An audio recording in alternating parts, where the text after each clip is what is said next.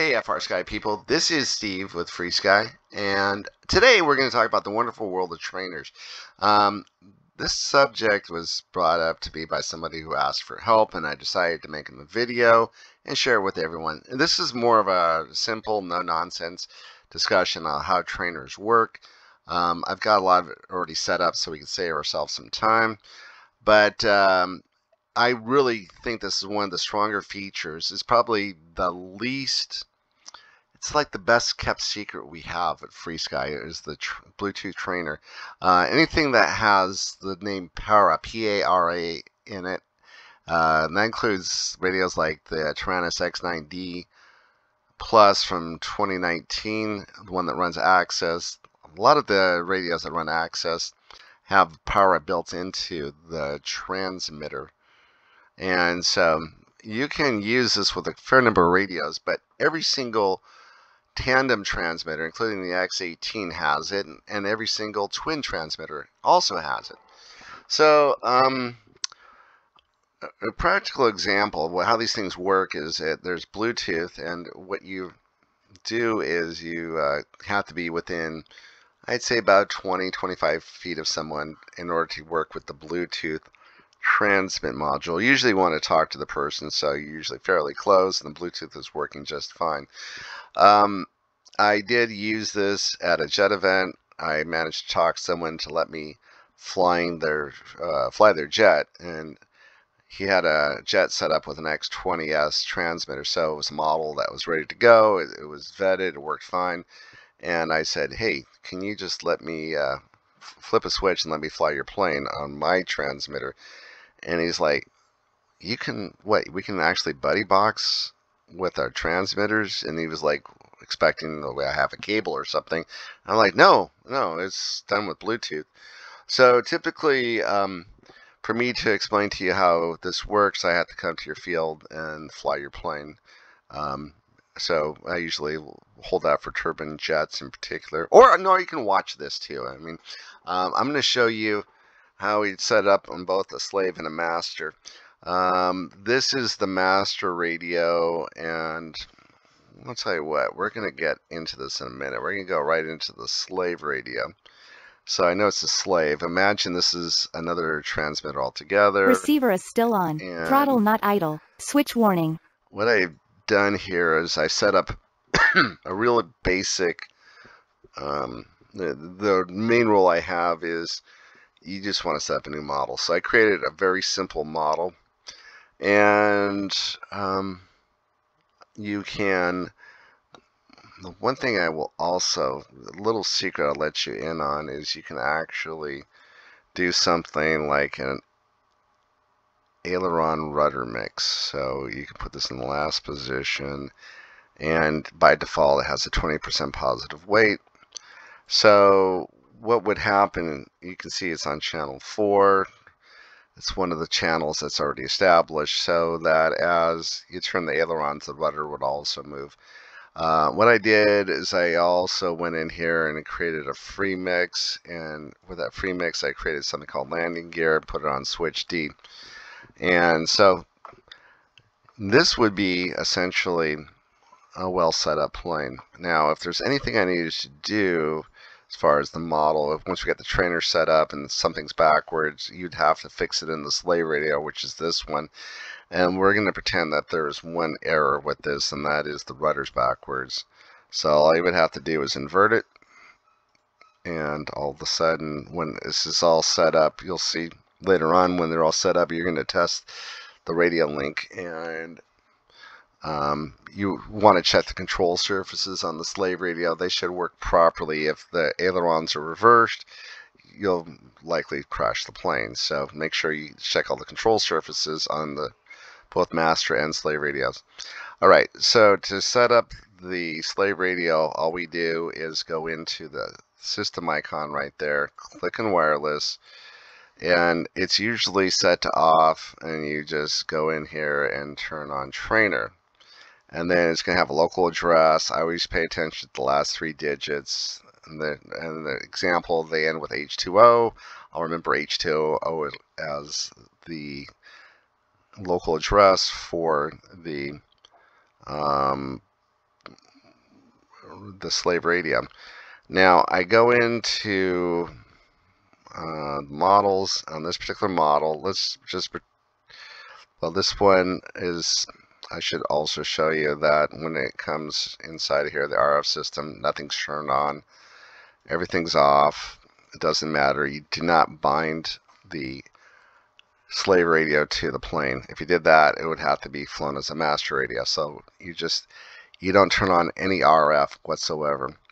Um, but we're going to go into the next screen right over here and go into trainer and typically it's off. And the slave radio, we just set up a slave and we turn wireless on and you'll see the local address is going to be and with the H2O and we're done with the slave radio for now. Now to go into the master, typically you don't go from one model to the other. Throttle They not usually- idle. Failsafe the, not the two set. radios are next Switch to each warning. other. So the master, what do we do? Well, we kind of repeat the steps we just went over. So we turn on wireless, make sure it goes from off to trainer, and we don't pay attention to what the local address is this time. You go into hardware. No, you don't go into hardware. You go into the second screen right here, which is trainer. And this one is off by default. And this time we're going to set it to master. Turn wireless on. All of a sudden everything works. Um, as far as you're going to need to do one thing before we search for devices, and that is establish a switch that when you whenever you turn it on, the Bluetooth trainer will come on. So I just decided on switch D down, and you can see that I'm gonna I can flip this switch virtually. First two positions are off, and when it gets to the third position, it's on. You'll see that the whenever you see this icon in red right here, that means that you would, um, if you had a slave radio hooked up, um, you could uh, connect to it, and then that would be your connection. Hopefully, it turns green. That would turn green, and all these would turn green.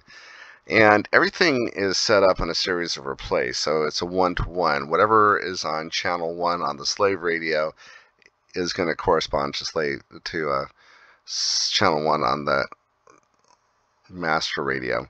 So typically that's how it works. Channel one on the slave radio is going to replace the aileron whenever it's activated. Two is going to replace elevator. Three is going to replace throttle. Four is going to replace rudder.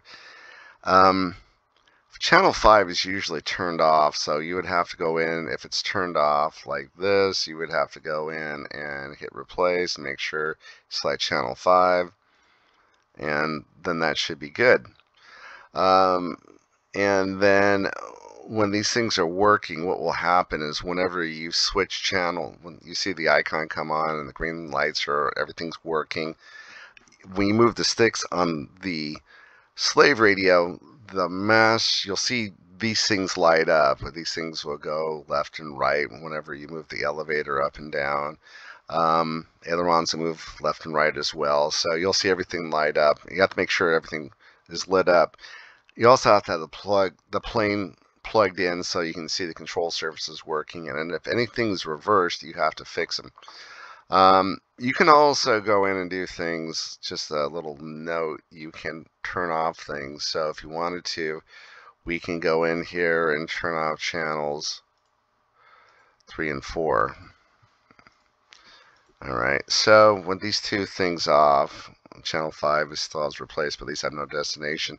What I've done is I've essentially taken away the left stick from the student. So even though I switched the radio and give them control, I still have to provide the throttle and as a master or the teacher and I would still have control of the rudder um, and then when I flip the switch D off you'll see that icon turn off and um, I have full control once again and then whenever I flip the switch back on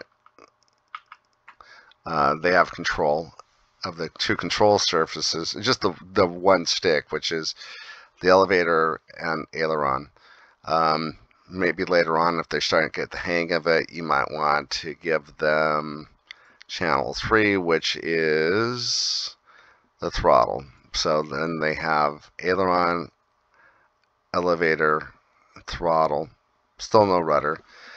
And, you know, rudder's used so infrequently a lot of times by newbies that they probably won't notice if it's missing. So you might as well just give them control of that as well at the same time. Give them both sticks and they're ready to fly. I've talked to a number of people who train and they all have different philosophies how to train. A lot of guys just give them full control of everything.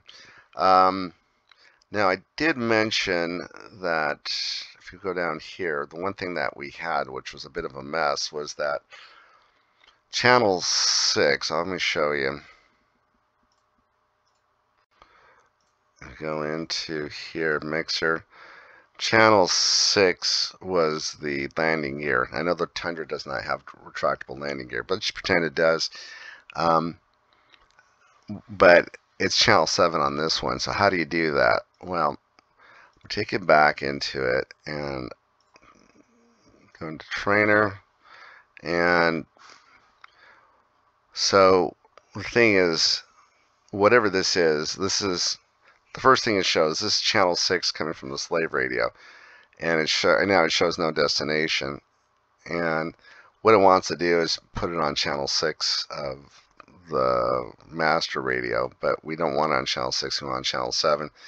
Um, channel 7 is marked improperly. It's not flaps. It will say landing gear. But anyways, that's how you do it. You would turn the mode to replace, and you would have channel 6 go to channel 7. And that should be everything. If you have any questions, feel free to write me. I'm Steve at FrSky Negative Sign. Thank you for watching. Have a great day.